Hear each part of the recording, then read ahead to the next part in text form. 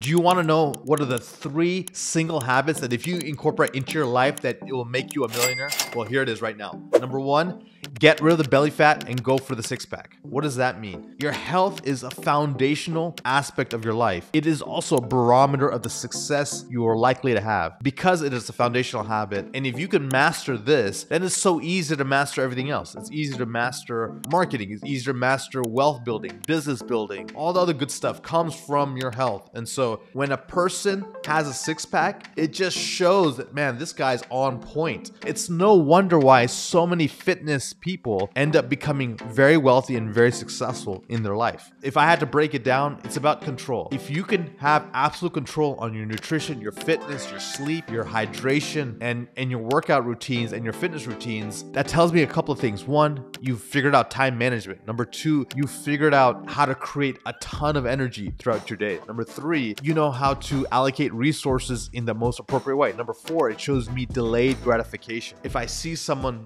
who is fit, physique, flat abs, I know they're able to conquer uh, limiting beliefs and have a powerful mindset. The next is the discipline of nutrition translates to the discipline of wealth. You have to have delayed gratification to create a superb body. You have to have delayed gratification to create immense amount of wealth. Essentially, reallocating time away from non-productive things towards your health Similarly, you're reallocating other monies that could have been used for just superfluous use or immediate gratification to investing for powerful wealth creation. And then finally, your inward physique, the look, the feel. It's congruent with your outward wealth. Why? Because it predicts success. It also shows a trajectory, right? To eventually gain a ton of muscle mass, you have to keep compounding your gains over time. Similarly, you're compounding skills to become a successful entrepreneur. And to become really wealthy, you have to compound, you know, investments. And so if you do these things, you will be truly, truly successful and you're on your path to becoming a millionaire. Number two,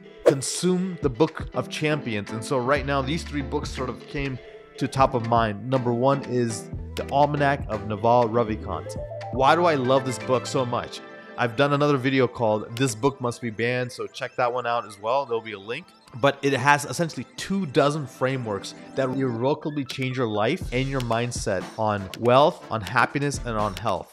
So definitely, it's a must read. Number two, The Everyday Hero Manifesto by Robin Sharma. Many of you have been familiar with Robin Sharma's works. He wrote The Monk Who Sold His Ferrari. It's one of his most famous books. He talked about, you know, the leader who had no title. He has the 5 a.m. club. But really, in this sort of signature arc de triumph, if you will, he literally takes all his best teaching, all his best knowledge, and puts it into one book, all his mind frames, everything in one super simple, easy to consume field manual, if you will. It has been one of the most useful books I've read in a long time. I would take some of these frameworks and start incorporating them into your life. And then finally, number three, this is more of a defensive book versus the first two books were more offensive. Is how to put points on the scoreboard and how to advance your life forward. This next book I'm going to share with you is how you don't retreat back. It's called the mistakes millionaires make. I want to say, guys, at some point you'll start seeing it's easy to make a million, but it's much harder to keep a million. So many people fail once they hit that top of the mountain. And the reason why is there's nothing fails like success, right? So people get comfortable,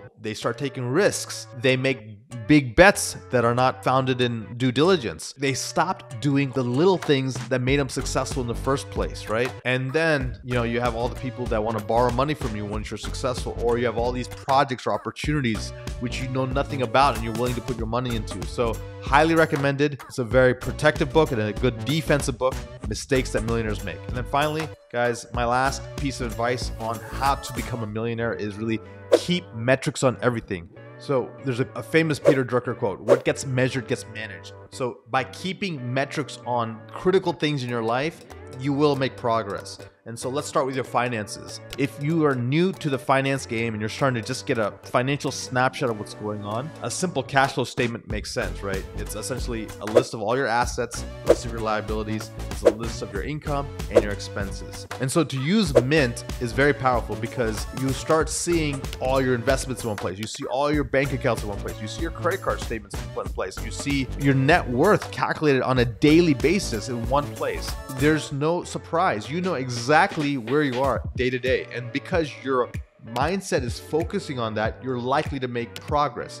And progress equals happiness, as we know. Number two, check your weight daily. So every day, get on the scale. It is a, a self assessment of where you are, right? If you're gaining a ton of weight, number one, perhaps you're eating more and you're training hard, and maybe that's all muscle mass. But most likely for most people, if you're gaining a ton of weight, it's either water weight or it's food weight that are from unhealthy choices. And so there's nothing like getting on a scale daily to keep your nutrition, discipline, and in check. Number three, check your heart rate variability, and I recommend using two technologies either an Oura ring that I'm wearing or a Whoop band, which fits around your wrist. And both of these technologies are the top in their industry in measuring HRV.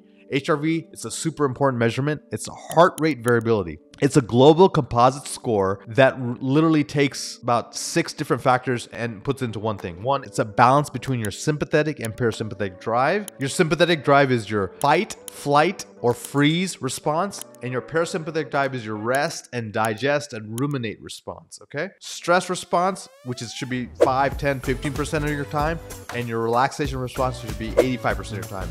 What are the things that affect it? Well, sleep, your energy, your nutrition intake, like late night meals, for example, alcohol intake, drug intake, stress. So, all these things affect this. And so, this one measurement takes all of that into account. So, if you overall are having a pretty good heart rate variability, you are truly doing quite well in life, and it's a global, powerful measurement of health. All right, guys, there you have it. The three habits that make you a millionaire. Number one, get rid of the belly fat and go for the six pack. Number two, consume the books of champions.